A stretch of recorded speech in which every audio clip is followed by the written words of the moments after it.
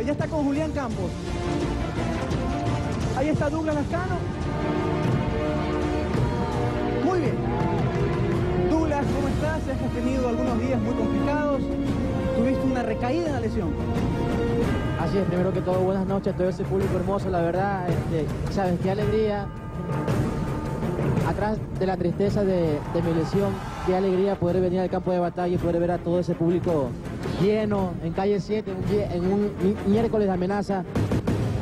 Por personas como ellas es que uno día a día viene acá a competir y lo primero que hice al, entrar fue ver el público y decir, yo ya poner las para poder competir, Jaime. Muy bien. Que la gente lo, tenga muy claro, porque tanto se ha dicho en redes sociales que debería también ir nominado él, porque él está lesionado, porque hay otros competidores que también no se encuentran bien.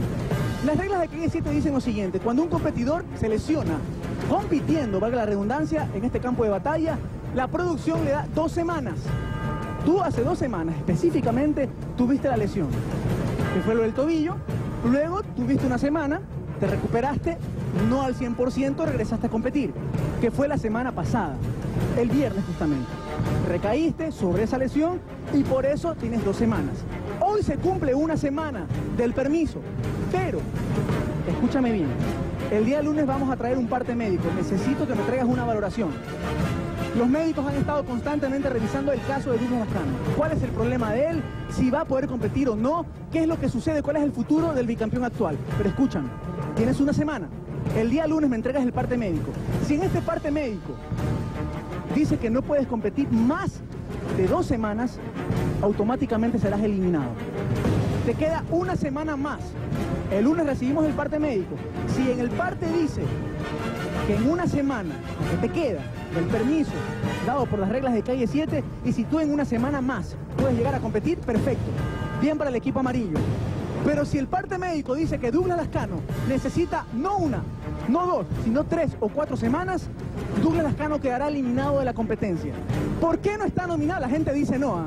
La gente no quiere que el bicampeón se vaya de calle 7. ¿Por qué no está nominado? Sencillo. Por favor, la gente y los fanáticos de calle 7 saben, han pasado con muchos competidores. Cuando alguien se lesiona, la producción da dos semanas. Él recayó y por eso tiene dos semanas. Ya pasó la primera semana que es esta.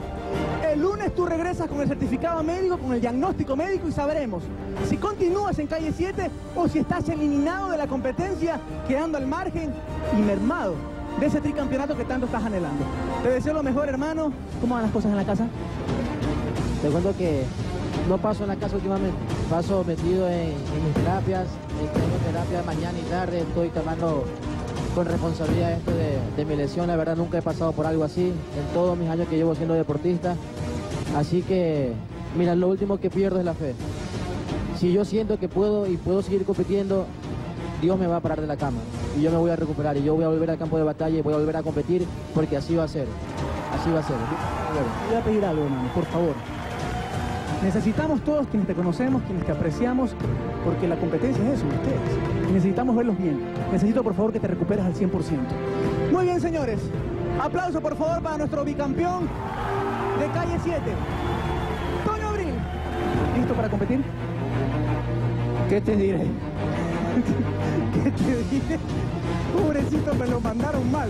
Ubicación, por favor, Toño Abril y Julián Campos. ¡Qué bien!